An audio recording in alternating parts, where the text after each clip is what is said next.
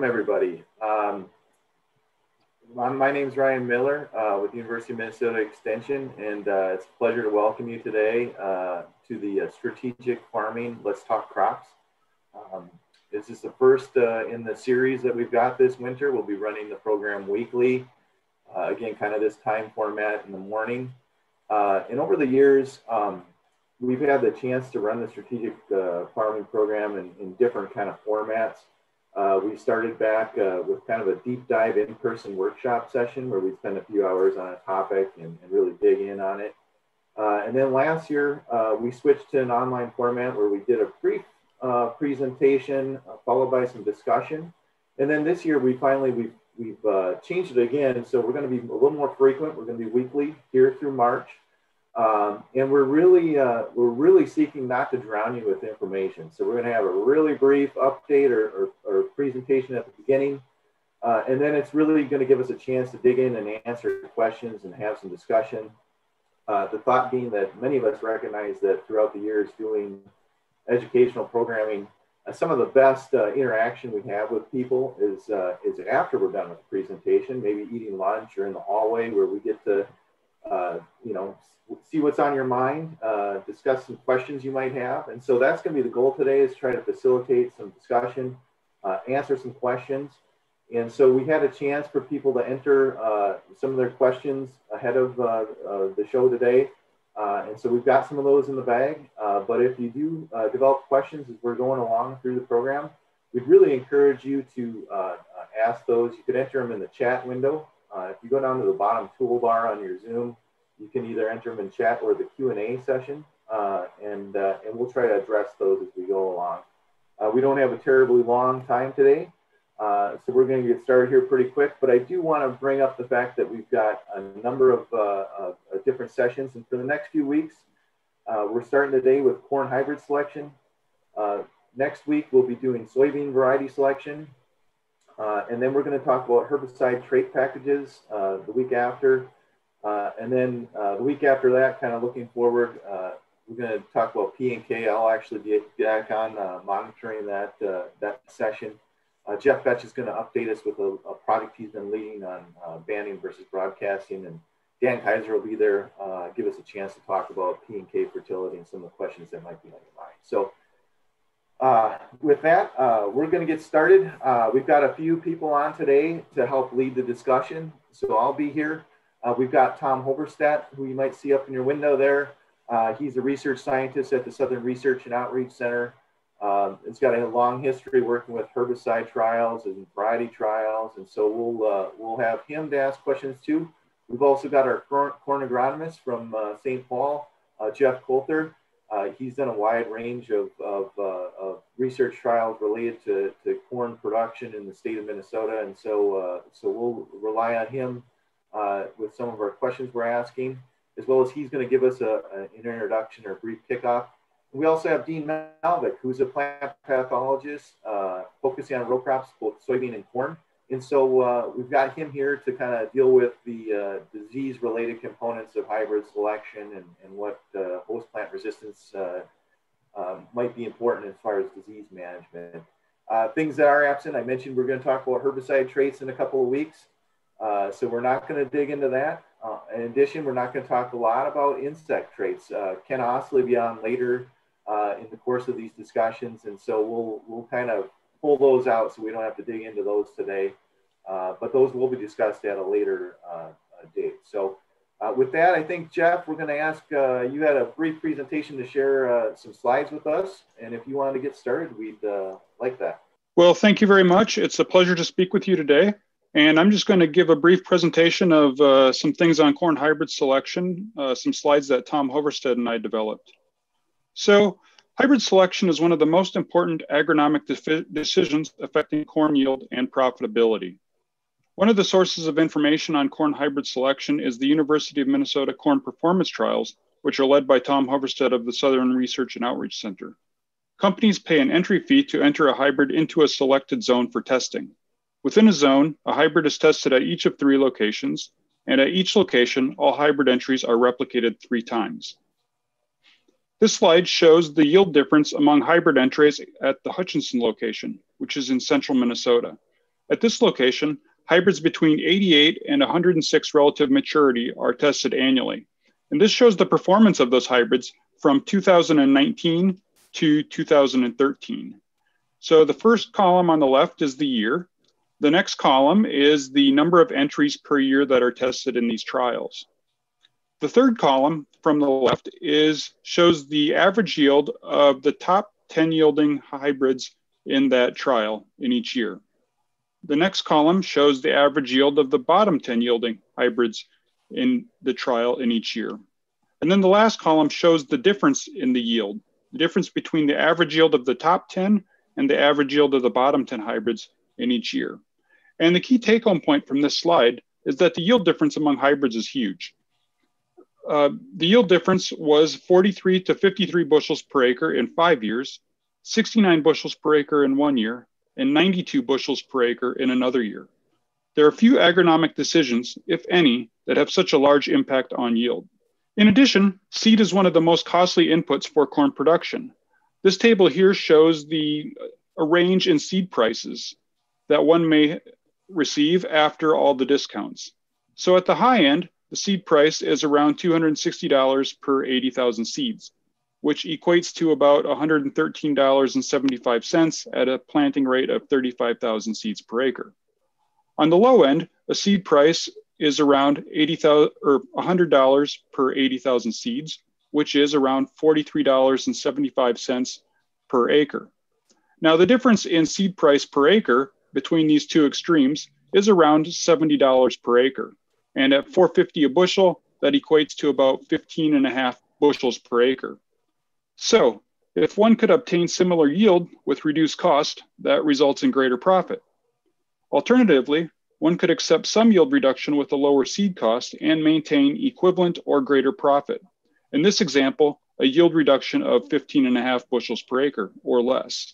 However, the, the difference in seed cost in this example is partially due to insect resistant traits. So one would need to consider scouting and potential treatment costs with the less expensive seed.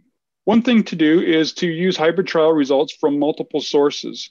Uh, these include universities, Minnesota and neighboring states, Minnesota Corn Growers Association, cooperative elevators, technical colleges and FFA clubs, the first trials, results from farmer group trials, and seed companies and trials where hybrids are replicated at least three times and that also compare hybrids from multiple companies are of particular value. One thing with hybrid selection is that it is important to stay current or you are behind. 1.8 bushels per acre per year is the average yield increase based on year of hybrid commercial release.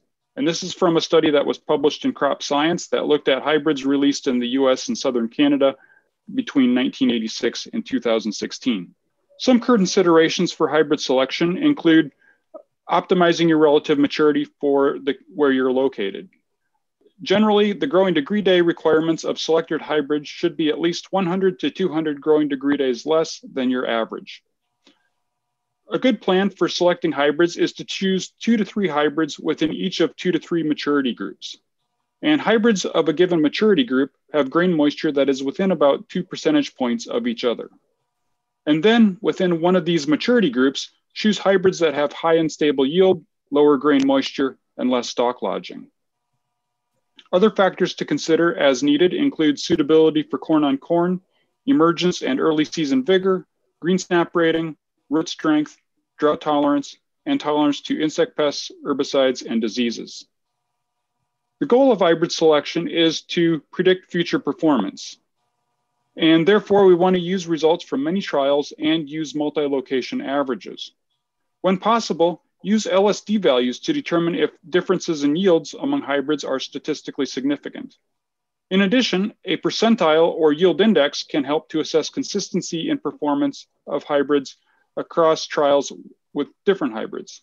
Now, a percentile is when you take the data, you sort it from lowest to highest, and then you establish a cutoff. And if we're using the 75th percentile, that cutoff would be where 25% of the hybrids are above that cutoff and 75% of the hybrids are below. Alternatively, some trials report a yield index, and this is calculated by taking the yield of the hybrid that you're interested in divided by the average of the yield the average yield of all hybrids in that trial and then converting it to a percentage. Now, these percentiles or yield indexes become useful when you're trying to look at the consistency of performance of a hybrid across multiple trials where the hybrids may differ. The hybrids differ in the ones that are entered into the trials.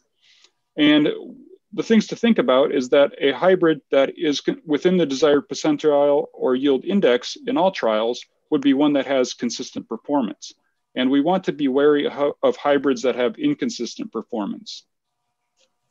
The best indicator of future performance is performance across multiple locations with soils and growing conditions that are similar to those of your fields. And this is because we cannot predict next year's growing conditions.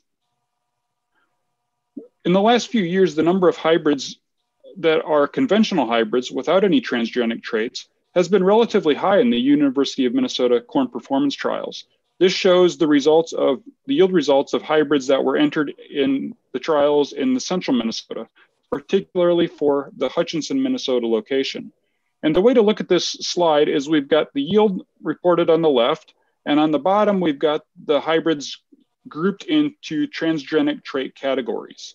So there were some hybrids that had no transgenic traits, some had herbicide resistance only, Others had both herbicide resistance and European corn borer resistance. And then there was a fourth group that had herbicide resistance, European corn borer resistance, and corn rootworm resistance. And this number at the bottom of the figure shows the number of hybrid entries for each of those groups. And the yield data are plotted using box plots. In brief, the lower line in the box is the 25th percentile, meaning 25% of the yields are below it and 75 are above it. The line in the middle of the box is the 50th percentile, which means half of the hybrids are above it, half are below it. And the line at the top of the box is the 75th percentile. And the take home point is that the wider the box, the greater the variability in the yield within that hybrid category. However, the box width is also influenced by the number of hybrids in that category. For example, the hybrids that only had herbicide resistance, there were only four of those. Therefore, it, results in, a, in a, a wider box. The variability is magnified.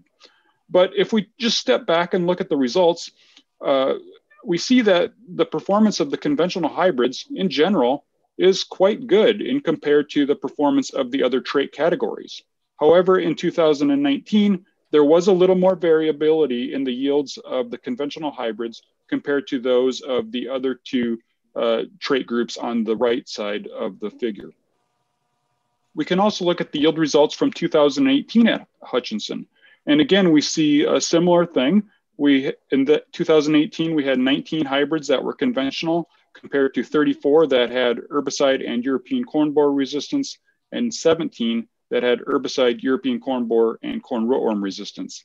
And in 2018 at Hutchinson, again, we see that the performance of the conventional hybrids was competitive to that of the other trait groups and perhaps a little better than uh, the group that had herbicide, European corn borer, and corn rootworm resistance. And one thing that I do want to mention on with regards to this slide is that the hybrid trials that the university does typically use a crop rotation. They always have soil insecticide applied for corn rootworm, and they have scouting for European corn borer and treatment if needed. Thus, the trials are essentially evaluating genetics in the absence of significant pest pressure. And one thing that we would like to drive home is that base genetics determine yield, and traits for insect resistance protect yield in the presence of a pest. So with that, that's uh, everything I wanted to present for today. And uh, I will stop sharing my screen and we will get over to the discussion.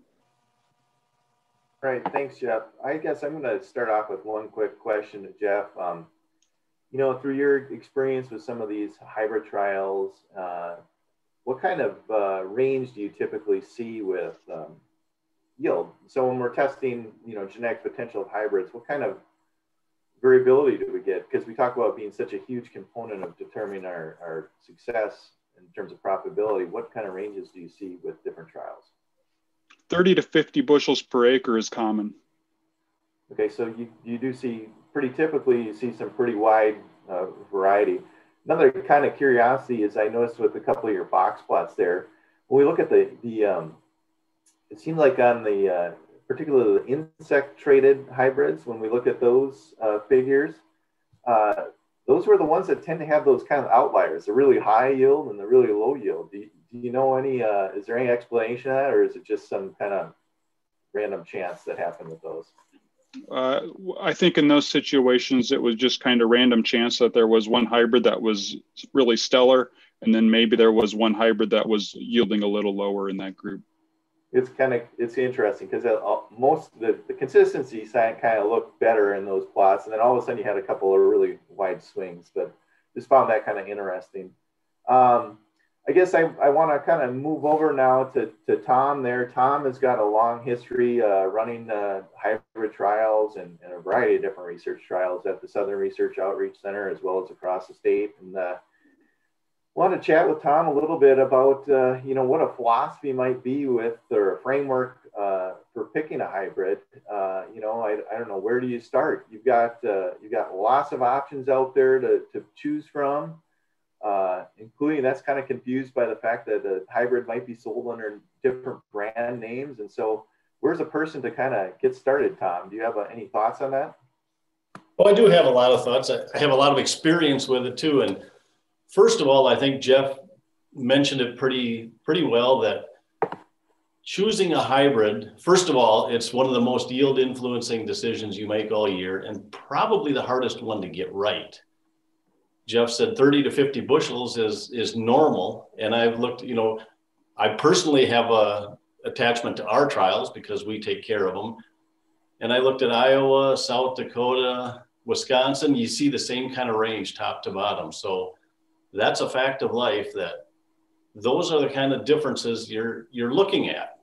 If you were if you made that kind of mistake with nitrogen or something at the end of the year you'd say well i should have done something different. But hybrid you could you could go through all the data pick a hybrid and be 30 to 50 bushels off and and say you know that's that's the way it happened. So to minimize that um, i would look at a lot of trials of course ours being one um, being here in southern Minnesota, I'm located in Waseca. I have no problem looking at Iowa's tests for things that I'm interested, Wisconsin, South Dakota. I wouldn't go as far away as Nebraska. But uh, one thing I think you just need to turn your head a little bit. It's human nature to look at trials that are close to home and look at a trial that's just down the road and look at one that did well in there and say, that's for me. But keep this in mind that what you're trying to do when you select hybrids is not look at history, you're trying to predict the future. And always the best indicator of the future is as many location averages as you can get because next year's conditions are not likely to be the same as this year right on your farm. So you want to get something that performs well across a range of environments. And I think that helps. So look at university trials. There's other independent trials. There's corn grower trials. Um, there's a lot of area educational high schools and uh, technical schools do trials. Co-ops do trials. So there's a lot of sources of information. And I think it's also good to watch out for things that do poorly because knowing when something does poorly is probably just as good as knowing what's on the top. So if you can say you're interested in a hybrid and in two or three trials you see it in, it was near the bottom, that's a red flag. Maybe ask some questions about that. So try to predict the future. We use history to predict the future, and that's uh, that's what we're trying to do with these trials and provide the best we can. Independent trials are good because uh, we have no stake in the game. So I, I do like that. In the Tom, I think uh, Larry asked a question over here in the chat, and I think you just addressed that. The, this whole idea of uh, instead of focusing in on just one location close to home, it's looking at multiple, what we might call in the research world, site years to try to get a feel for the unpredictability of next year in terms of climate and, and, and growing conditions, it's probably best to have something that's experienced and perform well under a multitude of different environments. And so I think I think what you just said there kind of uh, help to answer that question. It um, goes against it goes against your instincts. Your instincts are to look at that trial that's right down the road and want to duplicate it, but that's very hard to do when you're when next year is going to be different. Okay. Um, I do want to make mention that we do, if you click on chat, there is a chat window. I put a number of links there, uh, uh, including the lineup for our next series of, of discussions we're going to have each week, uh, as well as some uh, links to uh, the results that you guys did, the variety trial, both the corn grain and the uh, corn silage for 2020, as well as a general link to the, you can look at all the past years. they're all up on that website. And so you can, you can take a, a look at that. I do see that Dean Malvick uh, joined us, and uh, I wanted to ask Dean a quick question uh, in relation to corn hybrid selection and some of the diseases we see in Minnesota. Um, what are, when we start thinking about host plant resistance and hybrid selection, what are some of the, the big ones to think about when we're looking at picking a corn hybrid for, you know, helping to manage a disease? Yeah, uh, you know, Jeff mentioned that and put that on his list of factors that are important of course, diseases are, are very inconsistent from location to location and year to year. You know, we can all think back about 10 years when Goss's wilt became a significant problem across a big swath of the state. And certainly a lot of the hybrids then had were very susceptible. Now many of them have resistance. And so that, that disease, for example, is one that still poses a threat for sure. So if we have susceptible hybrids, out in the landscape, you know, there is a risk of them suffering some loss from Goss's wilt. Uh, fortunately, most of our hybrids have good resistance, so we, we've gotten around that big problem that we had before. But certainly that's one of them and that we have a good solution to with resistance. Um, Northern corn leaf blight is another one. You know, most hybrids have resistance to it. We've had outbreaks of that disease here and there scattered across the state at time to time. And, you know, we're not sure why that happens. Some of those have uh, decent ratings for northern corn leaf blight.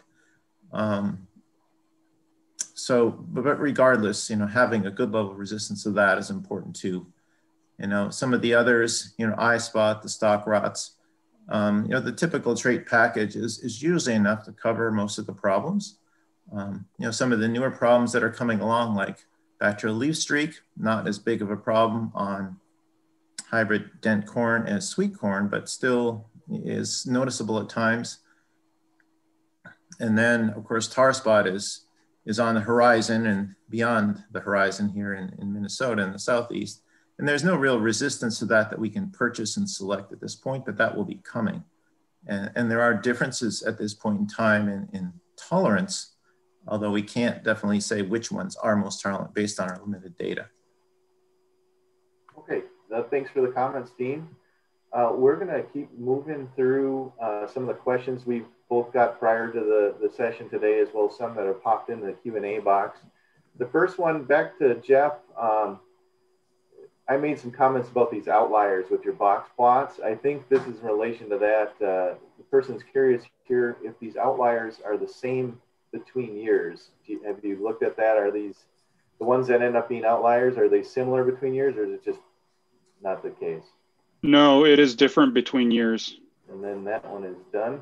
Uh, we did have one pop into the chat variety. I don't know uh, if we have the right person on to discuss this today, but uh, um, looking at the trials done with in-season nitrogen applications and uh, in different varieties, uh, they're curious about um, if anyone has information on uh, varieties responding differently to those in-season uh, applications of nitrogen.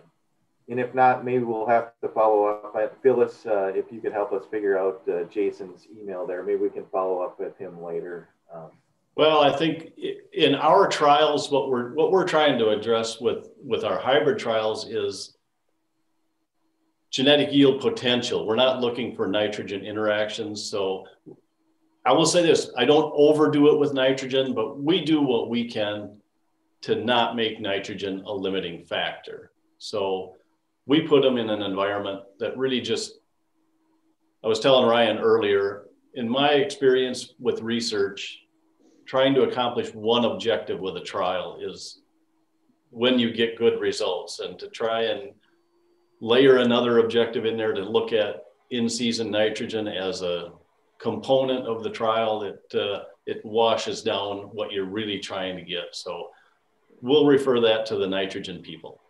All right, thanks, Tom. I guess it's, you know, uh, variety selection or hybrid selection is such a complicated thing. Why do you want to complicate it further with, with response? But yeah, definitely uh, an area of interest is in-season nitrogen application. So we'll uh, we'll hold that back and uh, and uh, uh, try to address that in future episodes. I think this next question we've uh, answered looking at multiple years. you've stressed both Jeff and Tom have stressed the importance of of that. Um, issue. Uh, there is a question here, and I did allude to this, Tom, earlier on this whole concept that oftentimes a hybrid is sold under different brand names. So the actual plant type uh, or, or, variety, I guess, uh, is sold with different branding, with different names on the market. Uh, do we do any uh, uh, legwork, I guess, on that to try to make sure uh, these things are actually different, or is that uh, something you've been concerned with? Well, here's what I know about that, and it's I'm an outsider in the seed industry, but I've been around long enough and talked to a lot of people.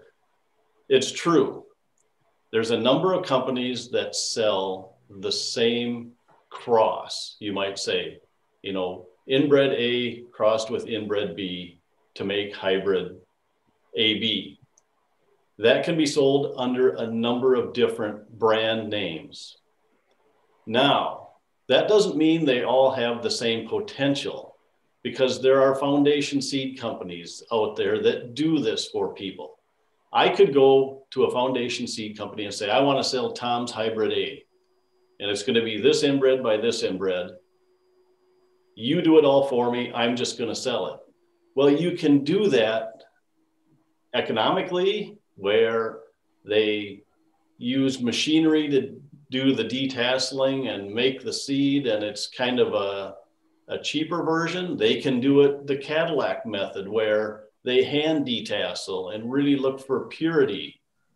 You can also cross inbred A with inbred B using the male and female differently, and it all affects things. So just because it's the same cross doesn't always indicate that it has the same yield potential. Handling and conditioning and the entire process of, of creating an, a hybrid seed for you to plant really can differ across the board. So I wouldn't look at one hybrid or I wouldn't get that information to know exactly what the genetics of this is and say, it is the same no matter what brand it's sold under.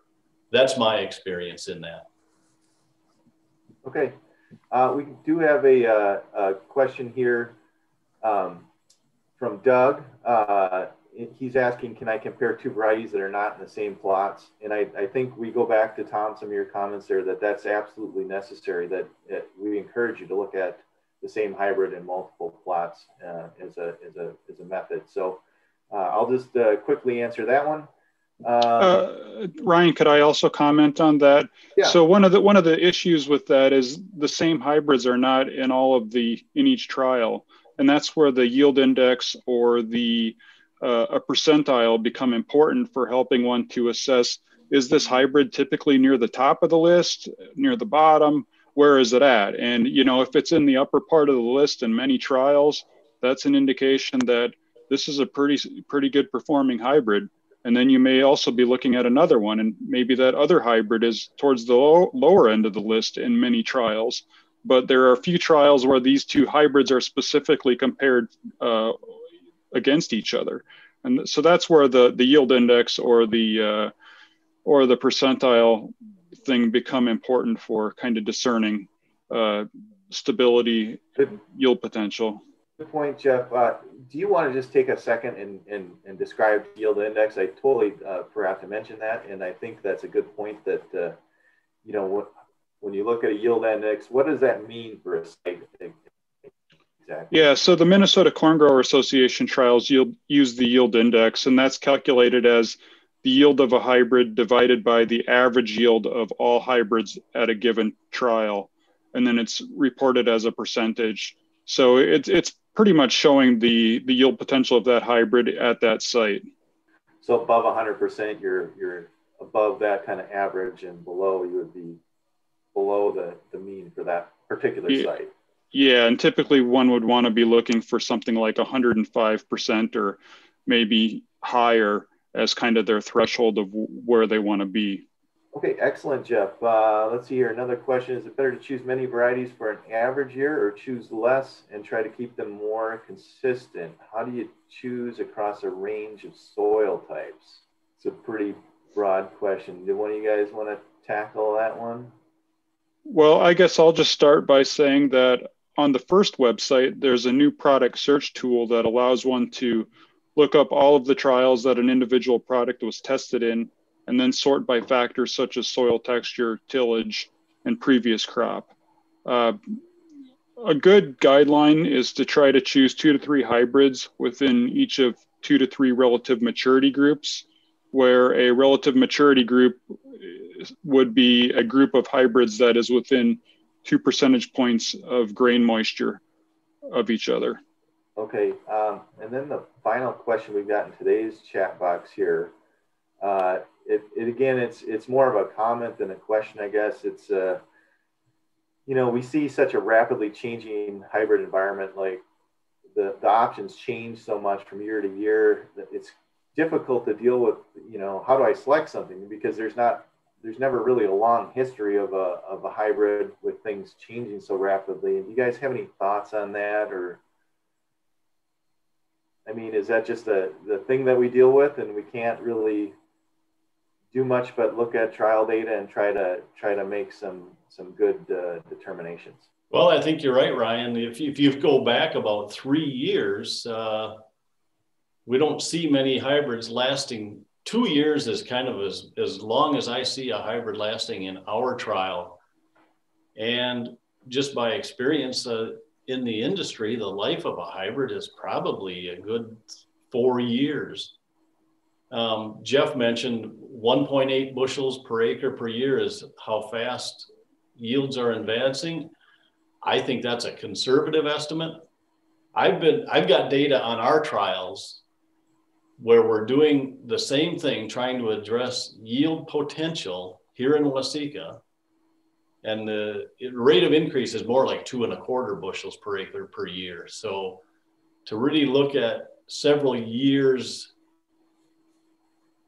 data history, you're already putting yourself five to if you look well, if you want to look at three years history, you better be seven and a half bushels better, and that's hard to do. So that's that's how fast things are moving, and that's why looking at this year's data is probably the best thing you can do for next year's trials. Okay, and uh, so guys, the, ahead of this, we did have a bunch of questions come in, and I think we've talked quite a bit about this. Um, you know, the goal of a, a, yield trial is to kind of try to find the greatest potential in terms of genetics, and so we kind of take away some of these factors with soil type and tillage type. But there were some questions. I don't know if anyone wants to provide any little bit more insight on, you know, these issues with, well, I'm a strip tiller versus conventional till. Uh, is there any other comments you guys want to add uh, with regards to hybrid selection and some of these other factors, soil type, or maybe it's a production, you know, like the tillage example, strip till versus conventional. Um, any comments that you want to uh, lay out there anymore, or, or do you think we've covered that? Well, it's, it's hard to address that in the in the trials that we do. Say you want to look at strip till or no till also. Um, to get that kind of information takes a few a few environments, a few years. And if you do that, we just said the life of a hybrid isn't that long. So it's hard to it's hard to do hybrid trials that address that.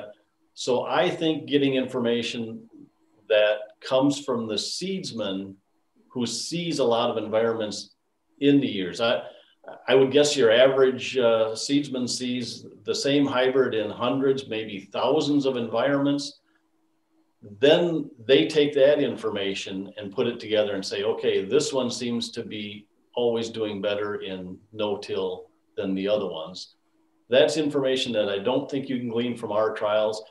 I think step one is find something that has high genetic yield potential, then go to the seedsman, say, I'm interested in this hybrid. What do you think about it on no-till? And he probably will have a pretty good feel for it.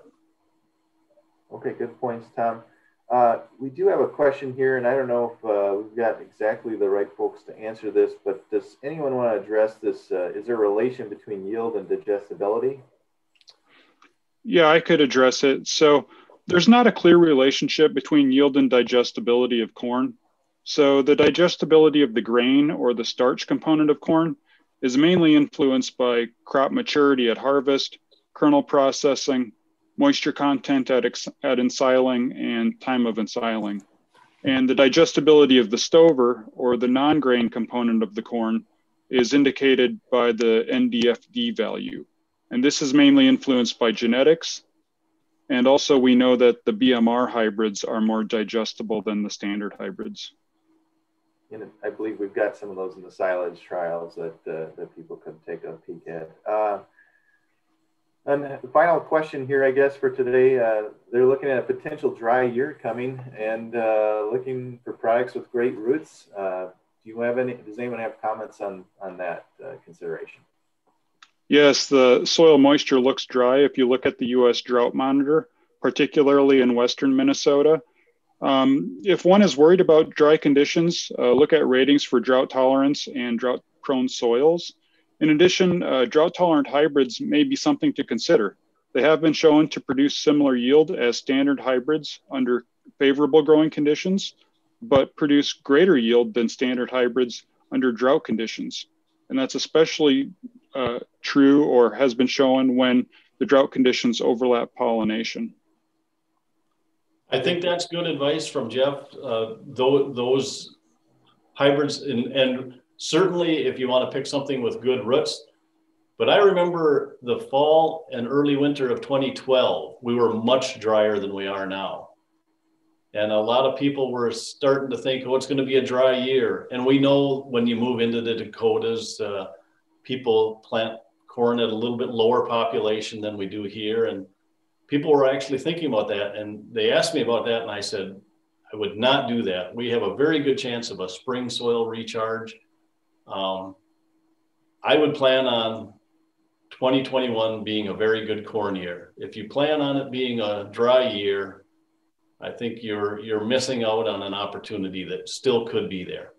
Okay, good points, Tom. Uh, one last question I see popped into the chat here. Uh, kind of uh, looking for a guideline on um, if you want to be in the kind of top in terms of yield and, and being on the cutting edge, the question is about what kind of percent of your farm should you look at planting to a new variety every year. So, you know, kind of, I don't want to call it risking it, but kind of what percent would you, would you use something that's, that's brand new, I guess? I think I would take the advice of my seed dealer and a lot of times, you know, some of the newer ones that they're, they're pretty proud of often come out kind of limited. So you you may you may be interested in one that they say is their new and probably highest yielding hybrid. You maybe only get enough to plant 50 or 100 acres. So that that kind of thing. But uh, one thing you still got to use when you select hybrids is your own experience. And if you've had success with a hybrid, I wouldn't abandon it for something new just because it's new. So I wouldn't. Uh, I would keep a lot of your farm on things that are a known commodity that you've had success with. Talk to your dealers about how much you should try a new new variety, and usually it's it's going to be limited by how much you can get. All right. Well, thanks, Tom, and I want to thank Jeff and Dean as well as everybody that's joined us today. Uh, that kind of wraps up our question and answer uh, session. Uh, we recorded today's episodes so we'll be making that available online uh, later. But again, I want to thank everyone for participating. If you've got any feedback, uh, please send us a, a, chat or you can send us an e email. Uh, and I want to thank Phyllis, who's been behind the scenes here helping facilitate things today, as well as uh, I did post a link in the chat box to our, our Growing Corn website, and Phyllis has been instrumental in uh, in facilitating some of our online presence with some of this. And so I, that's a really well put together uh, website. It's got a lot of work that Tom and Jeff have worked on, as well as uh, some of our soil fertility and things. And so uh, uh it's a link. It's got more information on, on some of the work that we've done at the U. And uh, with that, I want to thank everyone and uh, have a great rest of the day. Thank you very much.